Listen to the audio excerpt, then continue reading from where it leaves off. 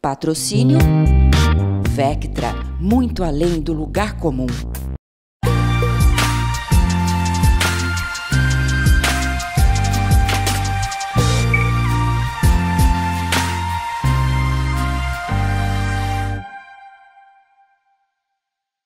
Olá! No programa de hoje nós vamos entender o papel da arquitetura de interiores nos projetos comerciais.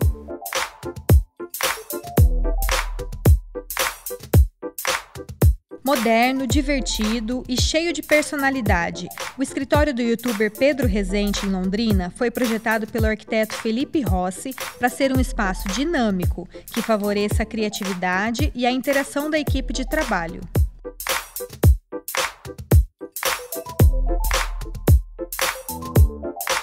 Felipe, deu para ver que você quis deixar o escritório com a cara do dono, né? Pois é, Amanda. O ambiente é bastante jovem, bastante descontraído.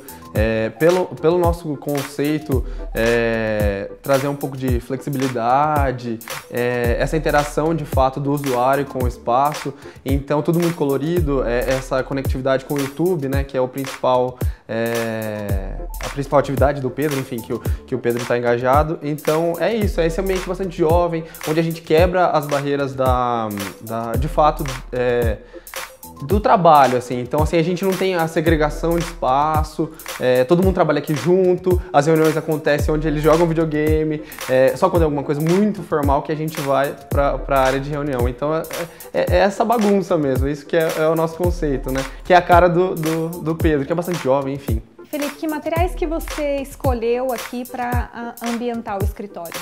Então, Amanda, é, a gente apostou nas cores, claro, do YouTube, então por isso essa conectividade com o vermelho e o azul, que é a, a logo né, da, da agência, da DR.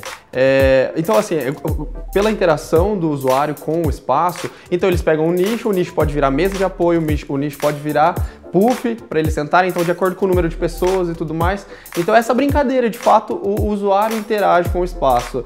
O móvel em si não tem uma função só, ela, é, ele é multifuncional. Então essa que, que foi a, a brincadeira. E lógico, o preto, que é uma coisa mais masculina, mais sobra e tudo mais, para também não ficar tão, tão informal assim.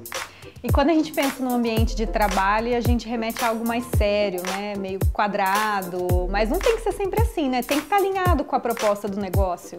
Não, claro, com certeza. É, aqui, como é um, um ambiente onde é uma usina de ideias, na verdade, né? Onde a criatividade é muito aguçada, onde a gente precisa despertar isso.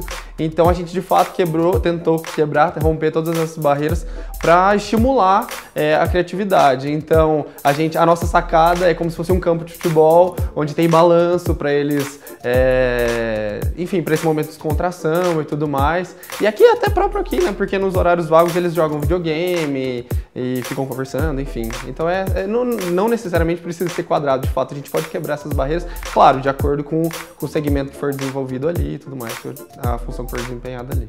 Na decoração são objetos que ele coleciona, que ele gosta.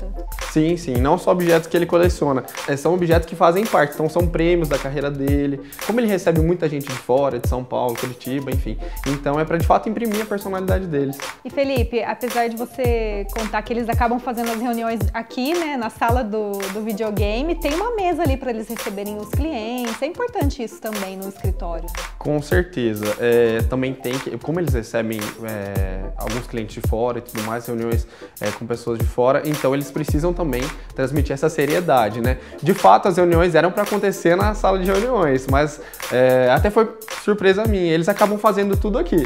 Na sala que era uma, a, a, sala interativa que era para ser um momento de descontração e tudo mais, eles acabam puxando puff e todo mundo se alocando aqui e acaba acontecendo tudo aqui. Daí então na hora de assinar um contrato ou algo mais sério, enfim, daí eles vão até lá.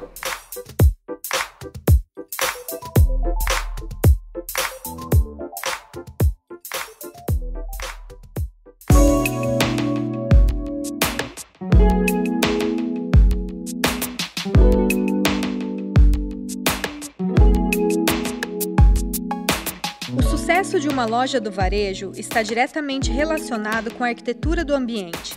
É papel do arquiteto pensar em estratégias de design para enriquecer a experiência de compras e tornar o espaço atrativo para os clientes. Renato, o que a gente tem que pensar na hora de elaborar um projeto comercial, especificamente falando do varejo? Eu acho que fundamental para ponto de partida é você conhecer o produto, você é, se aprofundar sobre os materiais, sobre as necessidades do lojista, é, os pontos favoráveis, os pontos negativos daquele produto, para a gente tirar o melhor e conseguir um projeto mais, é, mais assertivo possível.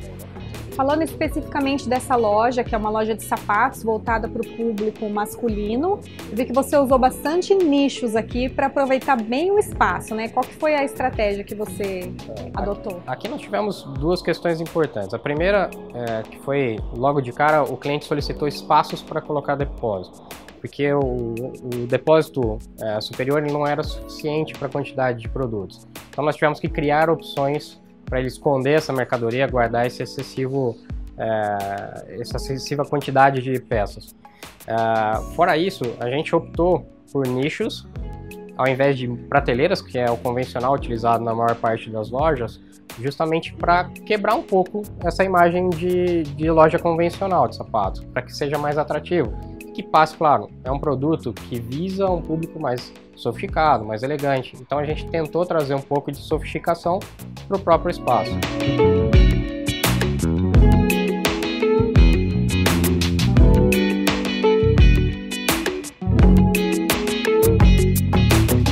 Renato, agora a gente está em outro espaço, uma loja de vestuário masculino. É um espaço mais amplo, mas aqui também ele precisa expor mais produtos, né? Como é que você pensou nessa arquitetura? É, exato. É, dando continuidade no mesmo raciocínio da loja anterior, aqui a gente teve uma outra dificuldade, que não é esconder o estoque, é mostrar o estoque. Porque ele tem uma diversidade muito maior de produtos, né? Não só do mesmo tipo, como vários tipos de camisa que ele precisa mostrar e tamanhos diferentes, mas também outros tipos de peças, né?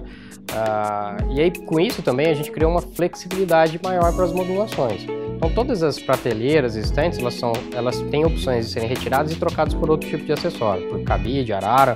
É, isso possibilita que a loja também consiga ter uma vida própria, ela consiga ter uma exposição diferente em cada, em cada momento. E aqui, que materiais que você optou para decorar e chamar a atenção dos clientes? É, da mesma forma, um, uma das solicitações era deixar o ambiente bem masculino. Então, optamos também pelos tons mais escuros, para deixar a loja um pouquinho mais intimista, mais fechada, mas da mesma forma optamos por algo para chamar a atenção para o interior, então a gente tem bastante decoração para o interior, tem um, um, revestimento 3D no fundo, que acaba sendo atrativo também visualmente, porque ele rompe com um pouco uh, da mesmice do espaço e atrai o cliente até a parte interna também, mesma coisa.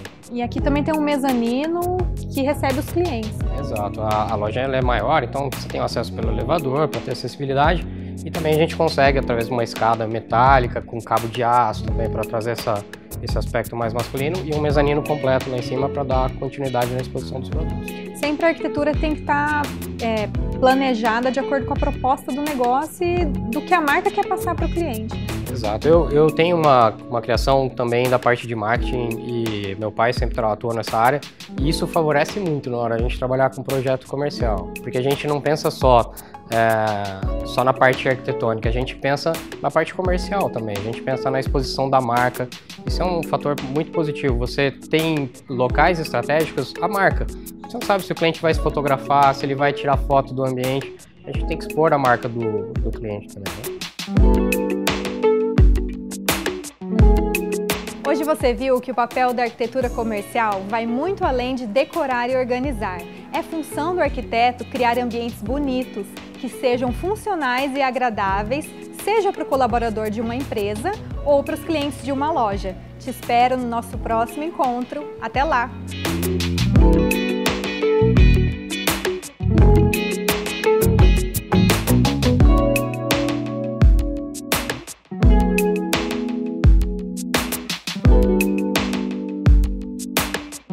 Patrocínio Vectra, muito além do lugar comum.